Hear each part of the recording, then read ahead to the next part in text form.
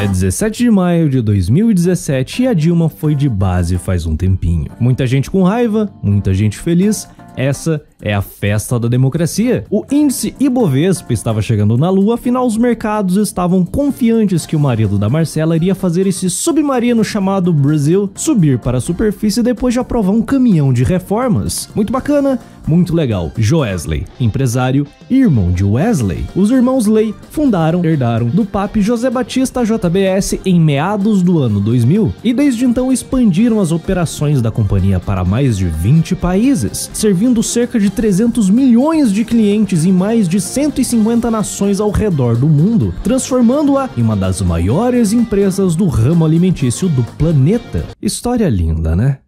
É.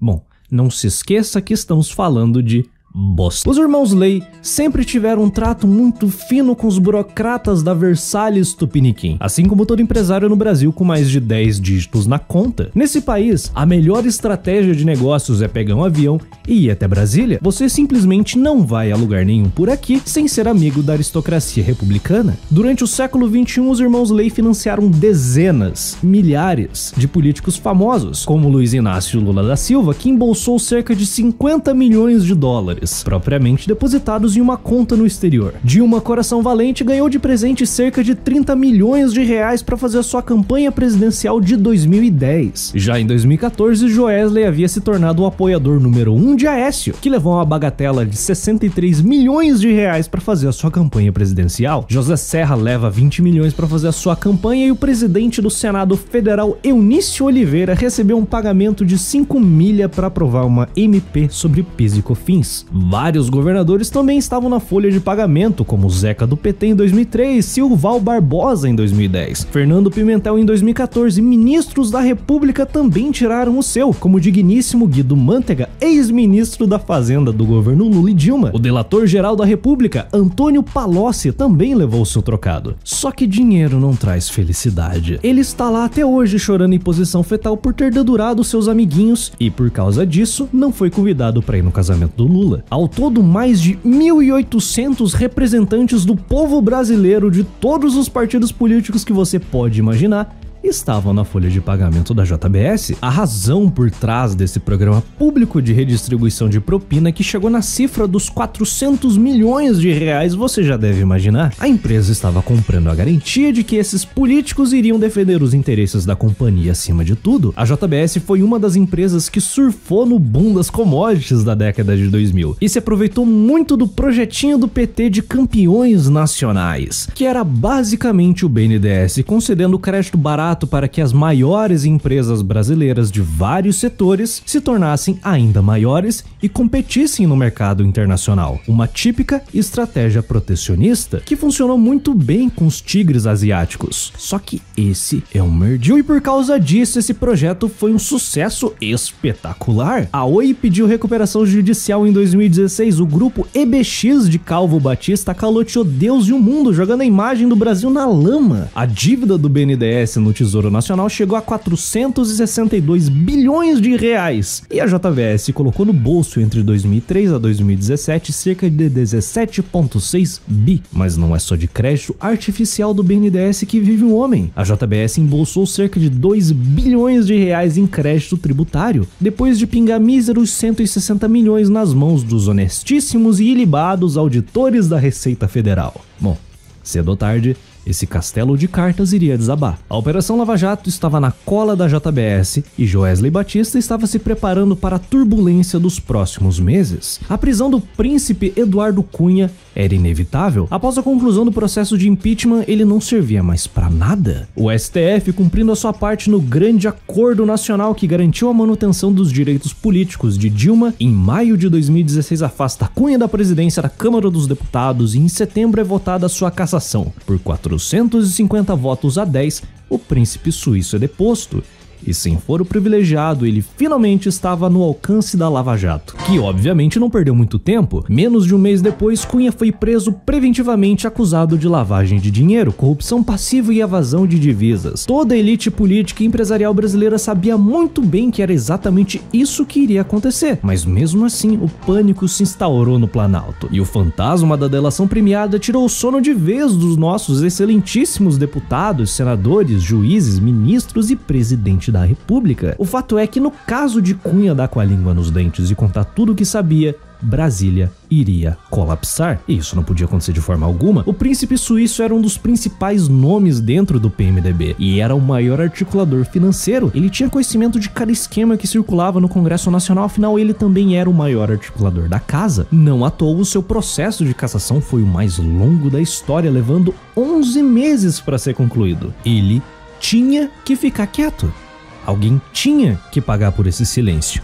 E esse alguém foi Joesley e o seu irmão Wesley. Até esse ponto na história, a relação de Cunha e Joesley era muito próxima. Entre os anos de 2009 a 2014, a JBS havia repassado cerca de 50 milhões de reais a Dudu Cunha para que ele defendesse os interesses da companhia no parlamento. Com a sua prisão, Joesley era um homem que garantiria o seu silêncio. No dia 24 de março de 2017, Joesley e Aécio Neves se encontram no Hotel Unique de São Paulo e discutem um pagamento de 2 milhões de reais para custear os advogados de Aécio. E ainda rolou a insinuação de executar um potencial delator. Deixa eu te falar dois assuntos aqui rapidinho.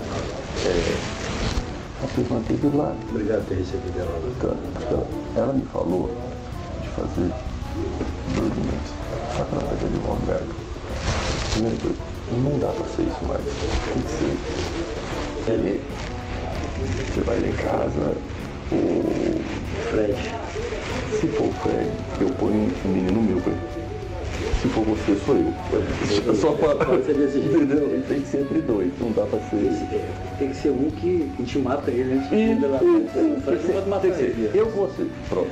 No dia 7 de março de 2017, Joesley e Temer se reúnem para discutir quem iria cuidar dos interesses da holding JIF dentro do CAD. Temer indica o deputado Rodrigo Rocha Loures como seu homem de confiança. E um pagamento de 500 mil reais semanais no prazo de 20 anos é definido, que totaliza 480 milhões de reais em propina. No dia 19 de maio, Rodrigo Loures é filmado pela Polícia Federal carregando uma mala com exatamente 500 mil reais dentro. É uma grande coincidência, eu diria. Alguns dias depois, em uma bela noite de março, mais especificamente no dia 17 de março de 2017, em um encontro fora da agenda do presidente, Michel Temer e Joesley Batista conversam na garagem do Palácio do Jaburu em Brasília sobre o silêncio de Eduardo Cunha. Eu te ouvi um pouco, presidente. Como é que tá? Como é que o senhor tá nessa situação toda aí, Eduardo?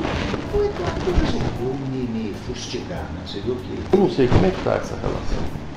ele jogou, indeferiu 21 perguntas dele e não tem nada a ver com a defesa dele. Pois é. Era para me trutar. O que, que eu mais ou menos dei conta de fazer até agora? Eu tô de bem com o Eduardo. Tem E que manter isso, viu? tô todo mês também.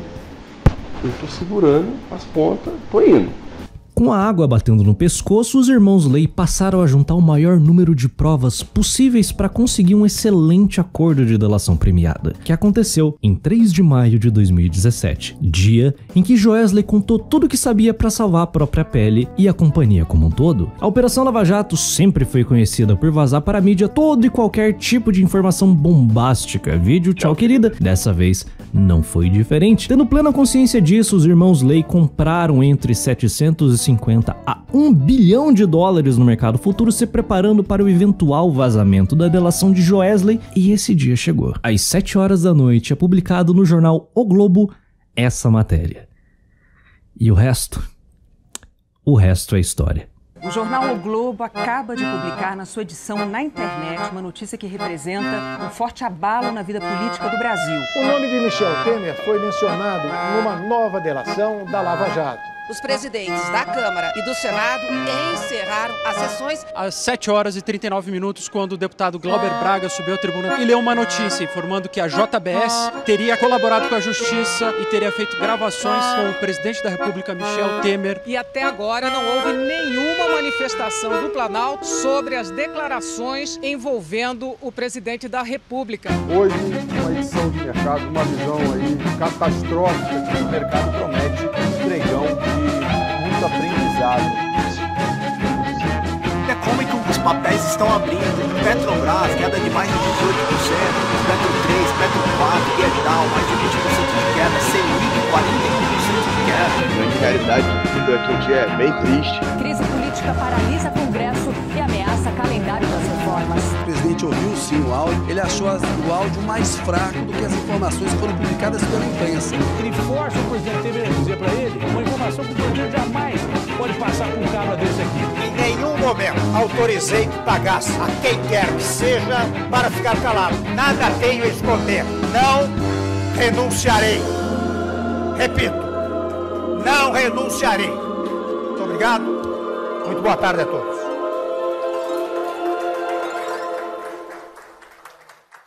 Como eu posso falar? A Ibovespa derreteu mais de 10%, forçando a B3 a dar um circuit breaker. O primeiro desde 22 de outubro de 2008, vulgo no meio da crise do subprime americano, a maior crise econômica desde 1929. O dólar fechou em alta de 8% e a Ibovespa caiu 8,8%, enterrando por meses a lenta recuperação econômica que o Brasil estava tendo após o tenebroso governo Dilma e o traumático processo de impeachment. O Joesley Day mudou os rumos da nação de maneiras que ainda não dá para compreender. Esse escândalo quase arruinou a reforma trabalhista e efetivamente enterrou a reforma da Previdência, que seria a pauta do Congresso em alguns poucos meses, empurrando esse processo todo lá para 2019, já no primeiro ano do governo Bolsonaro. Analistas diziam que Michel Temer iria renunciar ainda naquela madrugada do dia 18, coisa que não aconteceu. E se não renunciasse, o novo processo de impeachment iria ter início imediatamente.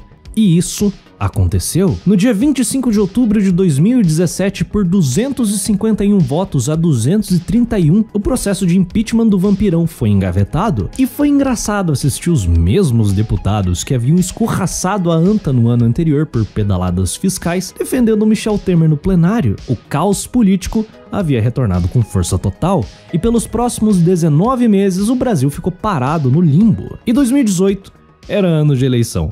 Em ano de eleição, ninguém faz nada de relevante. Michel Temer consegue terminar o seu mandato sem ter sido chutado do trono, mas já em 21 de março de 2019 ele foi preso pela Operação Lava Jato. O seu tempo na cadeia foi mais curto que o segundo governo Dilma. Em 25 de março ele foi solto, tendo em vista a péssima performance de Simone Tebet nas pesquisas eleitorais. Atualmente Temer está tentando ganhar apoio do MDB para se lançar candidato à presidência, mas as coisas não parecem estar indo tão bem assim. O príncipe suíço foi condenado a 15 anos de prisão, mas como o político no Brasil não fica preso por muito tempo e o processo dele é no mínimo questionável, todas as acusações foram anuladas em dezembro de 2021. Atualmente, ele é pré-candidato a deputado federal por São Paulo. Aécio Neves foi afastado do seu mandato no Senado Federal no dia seguinte ao vazamento dos áudios. Vários de seus aliados próximos foram presos, como a sua irmã e assessora, Andréa Neves, e o seu primo, Francisco Madeiros, na manhã do dia 18. Mas como esse país é uma várzea, mesmo respondendo por uma dezena de processos por corrupção, Aécio assume novamente o seu mandato alguns meses depois e concorre ao cargo de deputado federal em 2018. E esse ano provavelmente vai se lançar candidato ao Senado Federal por Minas Gerais. E o Joesley? Ele e o seu irmão ganharam mais duas acusações em sua infindável coleção de crimes: insider trading e manipulação no mercado financeiro. Joesley foi preso em 10 de outubro de 2017 e a multa estipulado para manter a sua delação premiada foi de 110 milhões de reais. Ironicamente, o lucro da operação de mercado futuro de dólares foi de 100 milhões de reais. A soma de todas as multas aplicadas pela justiça brasileira contra a JBS chega a 10,3 bi. Ele e o seu irmão continuam bilionários e ainda estão atolados em incontáveis processos por corrupção, incluindo um processo por improbidade por terem contratado um ex-procurador da Lava Jato para fazer a sua defesa, e existem rumores de que esse procurador supostamente ajudou Joesley e Wesley a conseguirem um excelente acordo de delação premiada. Pelo visto, eles provavelmente vão continuar respondendo na justiça pelas próximas décadas. E a JBS continua sendo uma das maiores e mais importantes empresas do Brasil.